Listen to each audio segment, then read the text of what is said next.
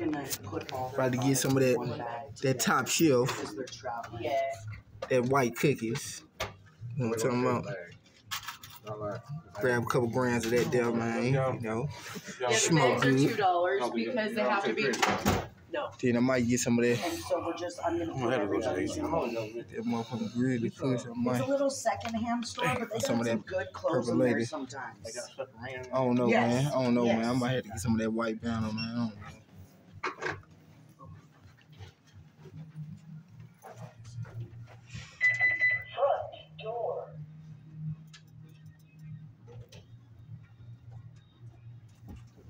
How much you got of this um of this lemon skunk?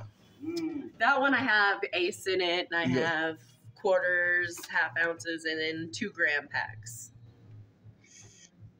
How much your three five on that? Forty-eight. Forty eight dollars. Alright. Shit. Y'all don't take cards though, do it. Damn. The bank Alright, let me go like get some cash right quick.